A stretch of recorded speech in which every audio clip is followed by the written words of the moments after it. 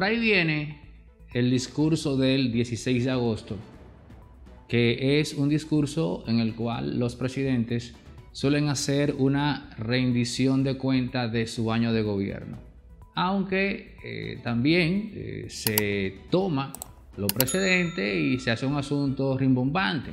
Con toda seguridad, el presidente Luis Abinader hablará de las más de 600 obras que se han ejecutado en este gobierno, de las cuales, según dice el propio ministro de Obras Públicas, ya hay unas 282 entregadas y en total 600 en ejecución. De esas 600 ya se han entregado 282, eso es lo que dice el documento oficial que comparte el propio ministro de Obras Públicas del ICNE Ascensión. Y esto no es casual.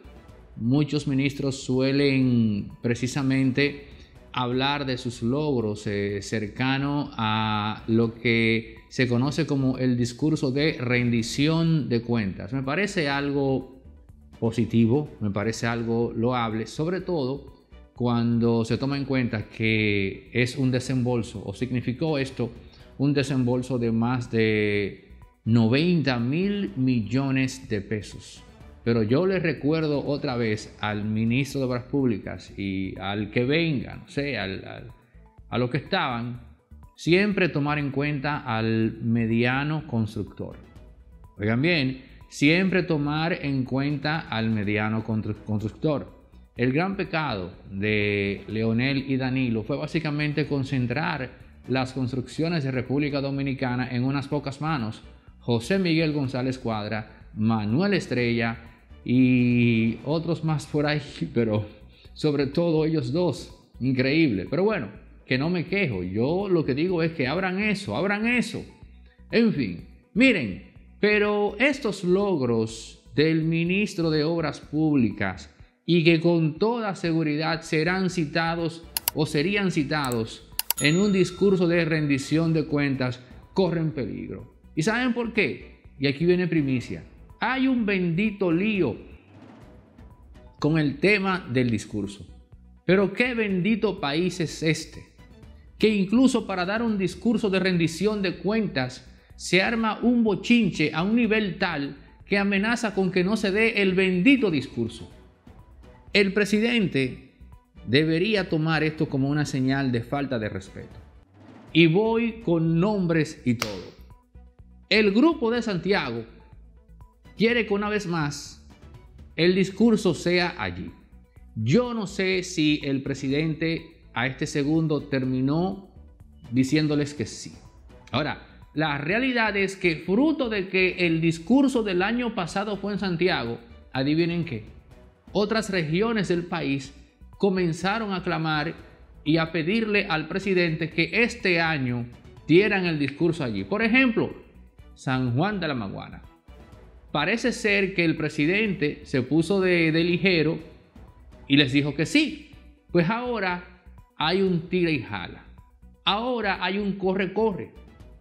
Y el discurso está en el mismo tenor de la reelección. En incertidumbre.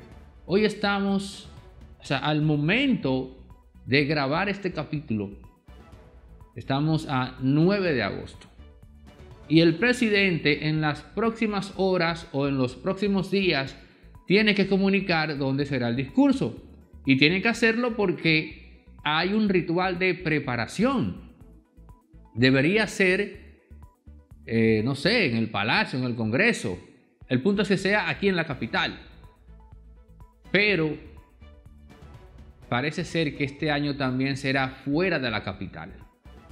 Y el lío se armó cuando se vio el movimiento de que todo iba en la línea del grupo de Santiago. Entonces, otro grupo en San Juan de la Maguana se dijo, no, espérese, presidente, usted nos prometió esto para este año y ahí se ha armado el bendito lío. Ahora Oigan lo que les voy a decir. No se sabe a este segundo dónde será el discurso. Si es en Santiago, bueno pues, una vez más, se impuso la voluntad de Manuel Estrella. Pero si es en otro lugar, ya sabrán ustedes que el presidente básicamente estaba honrando una promesa. Esto es increíble.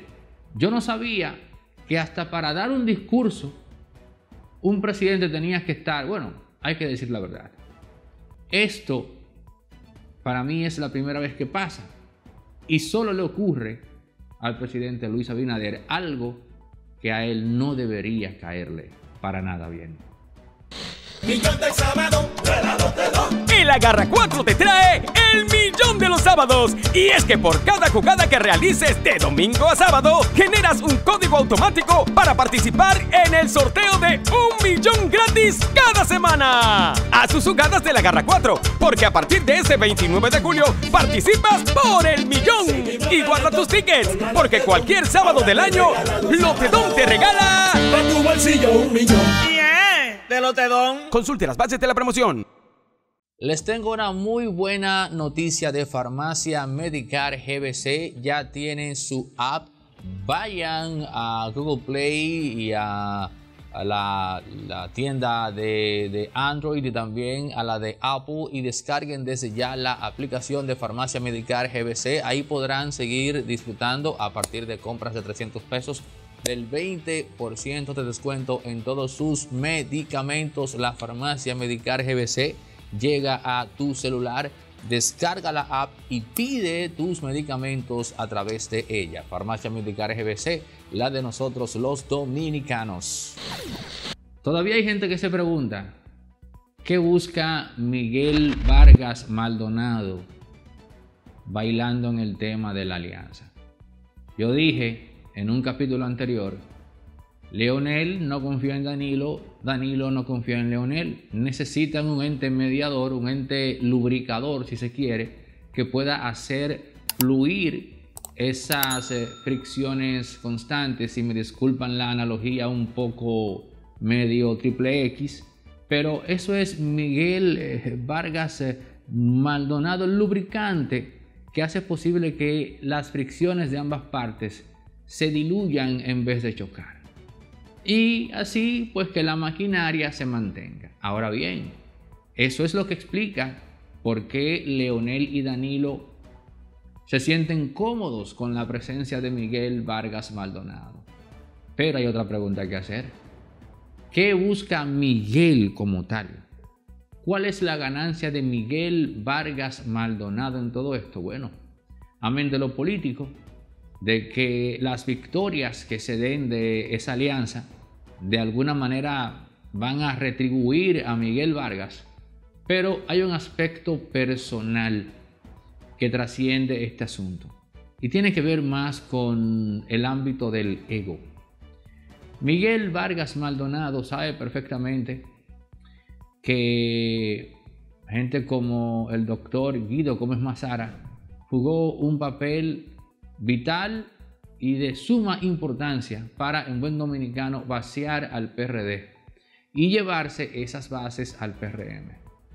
Pero ¿qué es lo que al menos en su cabeza, en su esquema mental de ver las cosas, Miguel Vargas Maldonado persigue? No es vaciar el PRM hacia el PRD, no, no creo que él esté tan desaterrizado. No creo que sus deseos de venganza lo lleven a semejante espejismo. No, él no llega. Pero al menos él busca reafirmarse de cara a lo que le queda del PRD. Si vía esta alianza en la cual él juega un papel importantísimo, el PRM logra perder cuotas de poder, él se reafirma en el PRD como el líder de ese partido. Porque lo que usted tiene que entender es que aunque el PRD no sea ni la sombra de lo que fue en el pasado, aún así es todo lo que le queda en términos de poder a Miguel Vargas Maldonado y ese poco que le queda es mucho mejor que nada. Porque con ese poco que le queda, incluso nominalmente, Miguel Vargas Maldonado puede canalizar cosas que a título personal no podría.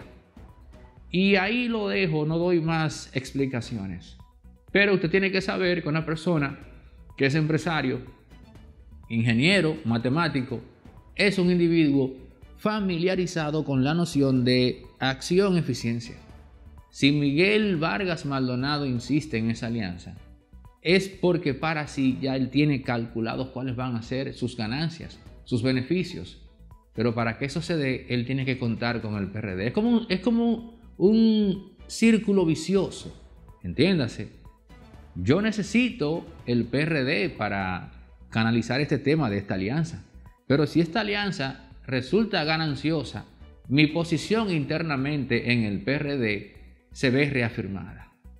No es verdad que a esta altura de juego, eh, Miguel Vargas Maldonado, lo que queda ahí, eh, lo va, digamos, a, a tirar por el toilet. No, no, no, bueno, eso que queda, repito, por más poco que sea, para él es mucho. ¿Y por qué? Bueno, pues porque ahí él es jefe. Pero esa posición de jefe se ve reconfirmada cuando internamente los que están ven el nivel de incidencia que él tiene hacia afuera. Porque los que están dentro se dicen para sí, nosotros no tenemos la capacidad, no tenemos el peso ni la influencia para hacer que Leonel Fernández y Danilo Medina al menos se sienten a discutir algo. Esa fuerza ese arrastre lo tiene Miguel Vargas Maldonado. Entonces, eso, es lo que busca Miguel Vargas en verdad. Acciones hacia afuera que den a entender internamente en su partido por qué razón él tiene que seguir siendo el presidente de esa organización. Esa es la parte psicológica de lo que acá en Impolíticamente Correcto llamamos el juego de poder. Resorte Media ha ampliado sus instalaciones y ahora tenemos más espacios para hacer posible que tú grabes tus contenidos en un ambiente confortable, exageradamente cómodo, parqueo, tenemos todos los parqueos eh, necesarios para que tú y tu equipo vengan a grabar en nuestros estudios en el 829 741 3061 puedes tener o conocer con lujo de detalle todo lo que tenemos para ti acá en Resorte Media para hacer que des ese paso audiovisual al más alto nivel. Estamos en una ubicación privilegiada en la, en la avenida Rómulo Betancourt, casi llegando a la Sarasota, en la César Augusto Roque con esquina 12 de julio, justo detrás de Burger King la segunda calle detrás de Burger King, valga la cuña. Ahí están las nuevas instalaciones de Resorte Media, 750 metros a tu disposición con una gran variedad de, de locaciones para tú hacer realidad tu sueño fílmico. Contáctanos en el 829-741-3061 y vamos allá. Los planes más competitivos en términos económicos del mercado para que grabes con calidad 1A al más alto nivel. Atención a todos los profesionales, emprendedores y empresas medianas y pequeñas que quieren tener su contenido de calidad circulando por las redes sociales, dando a conocer sus servicios. En Resorte Media hemos habilitado una unidad audiovisual especializada en la producción de contenido corporativo, empresarial y para todo aquel emprendedor que quiere acogerse a aquello de que dice que una imagen vale más que mil palabras en efecto, podrás tener las mejores imágenes, la mejor calidad al precio más competitivo del mercado para dar a conocer tu servicio a todos acá en República Dominicana. E incluso si tu empresa capta clientes en el extranjero, también podrás contar con eso. Contáctanos, escríbenos al 829-741-361 para que arranques desde ya a colgar contenido en tus redes sociales con la mejor calidad audiovisual posible, la que Resorte Media pone a tu disposición con el presupuesto más eh, asequible del mercado.